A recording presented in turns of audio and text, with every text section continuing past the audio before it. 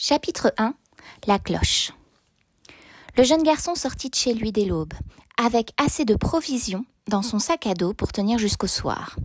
C'était une chose qu'il s'était toujours promis de faire le jour où il en aurait la possibilité et où les conditions seraient favorables. Il n'avait fait part de ses projets à personne, parce qu'il savait que sa mère se serait inquiétée, que sa petite sœur aurait vendu la mèche, et que son père aurait essayé de l'en dissuader. Pour eux, il partait pêcher la crevette autour de l'île de Samson. Il se lèverait tôt pour profiter de la grande marée d'équinoxe du printemps dès qu'elle commencerait à baisser, ce qui lui permettrait de passer à pied sec de Brière à Tresco, puis de Tresco à Samson. Ça, c'était ce qu'il leur avait dit. Tout le monde en faisait autant, mais ce que personne n'avait jamais fait, à sa connaissance tout au moins, c'était de gagner à pied les îles du Levant et d'en revenir. Tout le monde prétendait que c'était irréalisable entre deux marées. Son père était absolument formel. C'était en partie pour cela que le garçon était bien décidé à le faire. Il avait tout prévu. Il connaissait les eaux qui baignaient les îles Scilly comme sa poche, ayant vécu là chacune de ces douze années de sa courte vie.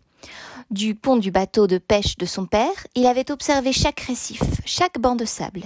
Il connaissait les marées, les courants et les nuages. L'équinoxe de printemps provoquerait la plus grande marée que l'on ait vue depuis des années. Le temps était stable et idéal, ciel rouge la veille au soir, et les vents étaient bien orientés, à condition de quitter les îles du Levant à midi et demi.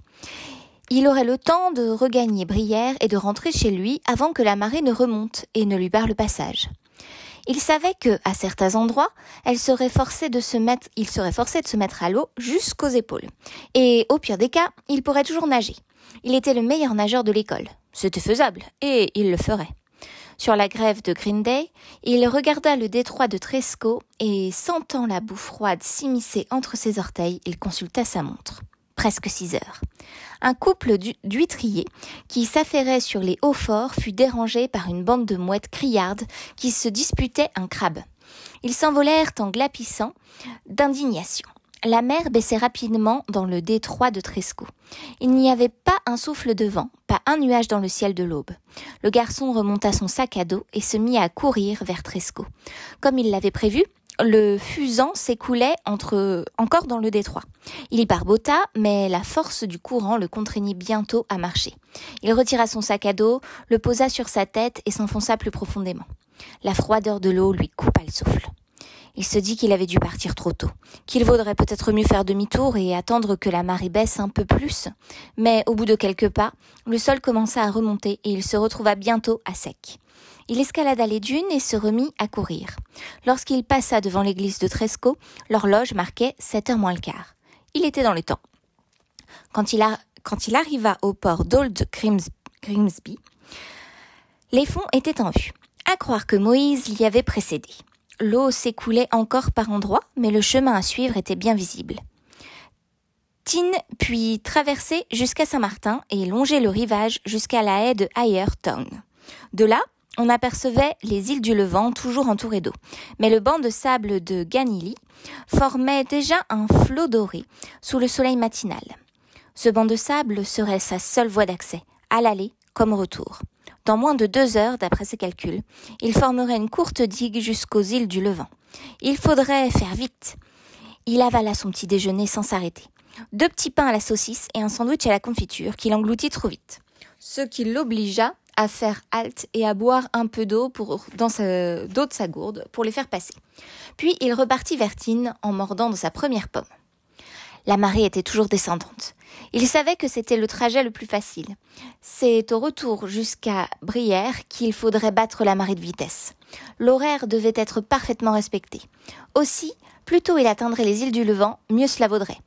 Une fois là, il disposerait tout juste d'un quart d'heure pour déjeuner et se reposer.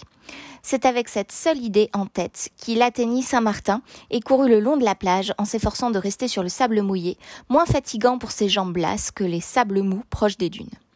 Maintenant, le soleil était haut et lui chauffait le crâne, le sac à dos lui frottant les épaules.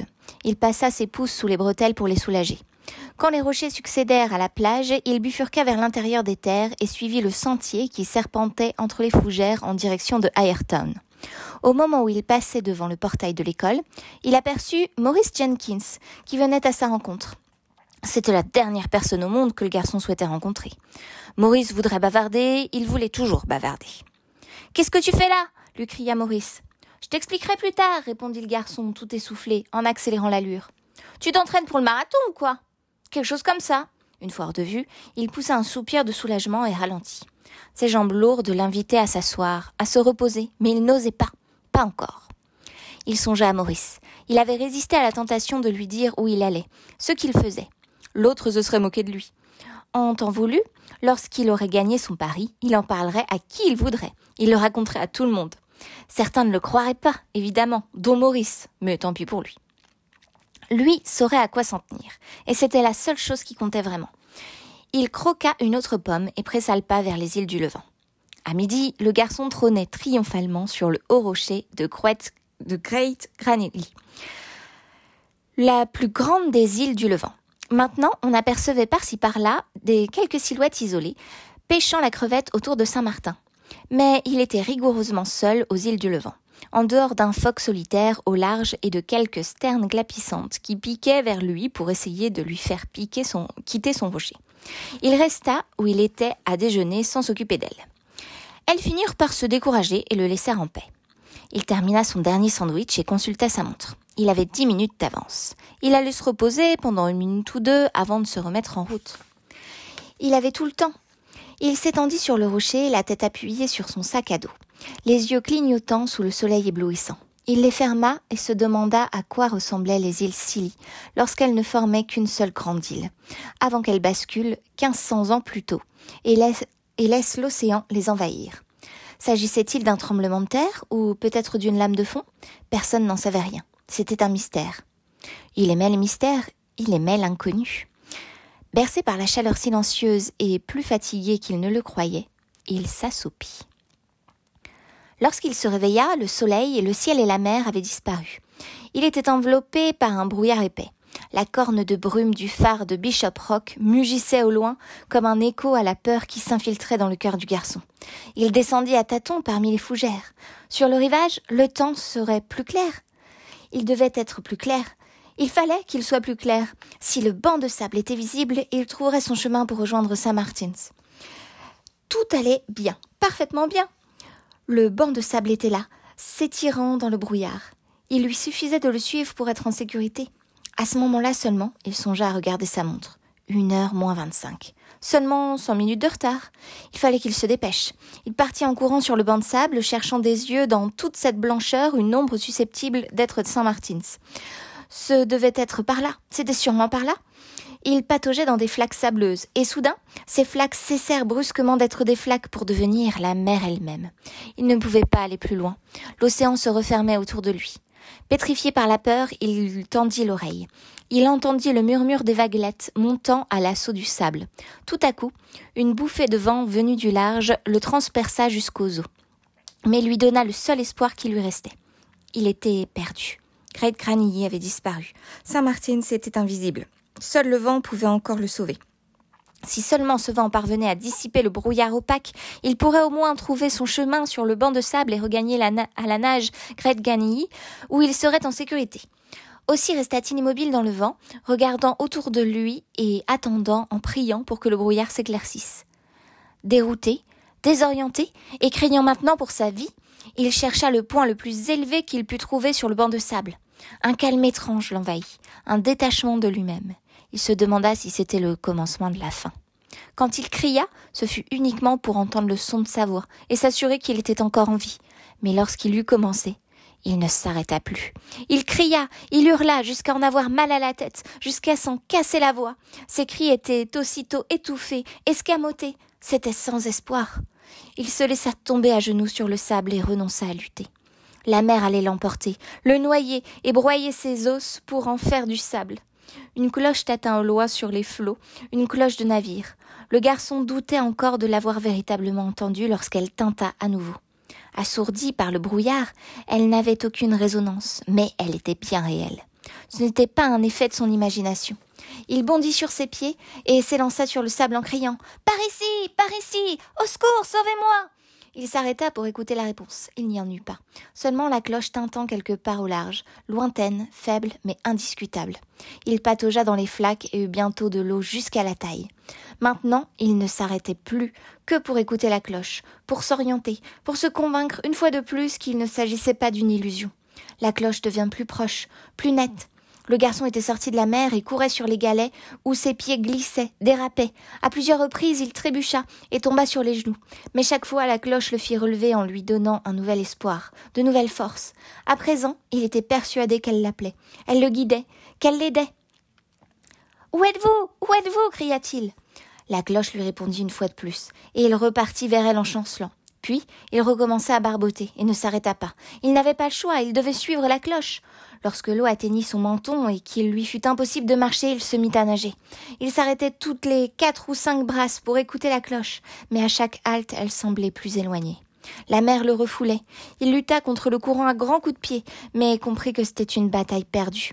Il appela au secours, et l'eau salée lui emplit la bouche et le suffoqua. Ses forces déclinaient rapidement. Le froid de la mer étreignit ses jambes et provoqua des crampes. Ses bras ne parvenaient plus à soutenir sa tête hors de l'eau. Il cria une dernière fois, et la mer l'engloutit. Ses dernières pensées lucides furent pour sa mère. Il la vit ramasser un sac à dos trempé et le serrer sur son cœur en pleurant. Le sac à dos qu'il avait dû oublier sur Grette Ganilly. Au moins, elle saurait qu'il était allé jusque-là. Des algues s'enroulèrent autour de ses bras et l'empêchèrent de remonter à la surface. Il se prit à espérer que le paradis existait. Le paradis était bien chauffé, ce dont le garçon se félicita. Un dernier frisson le débarrassa de son restant de froidure, et il regarda autour de lui. Il était couché dans un grand lit et couvert de fourrure dont les poils lui chatouillaient les oreilles. Un bon feu ronflait auprès de lui, et un homme, portant une longue cape grise, le tisonnait du bout de son bâton, en faisant jaillir des gerbes d'étincelles dans la cheminée. De son vivant, le garçon avait souvent essayé de se représenter le ciel. Eh bien, le ciel ne ressemblait en rien à l'image qu'il s'en était faite. Il se trouvait dans ce qui semblait être une vaste salle, éclairée de tous côtés par des torches flamboyantes, au milieu de laquelle se dressait la plus grande table qu'il n'ait jamais vue. Une table parfaitement ronde, entourée d'une centaine de chaises. Au fond de la salle, un escalier taillé dans le roc s'élevait en spirale dans les ténèbres enfumées. Le garçon toussa. enfin, dit l'homme, en se redressant et en se tournant vers le garçon.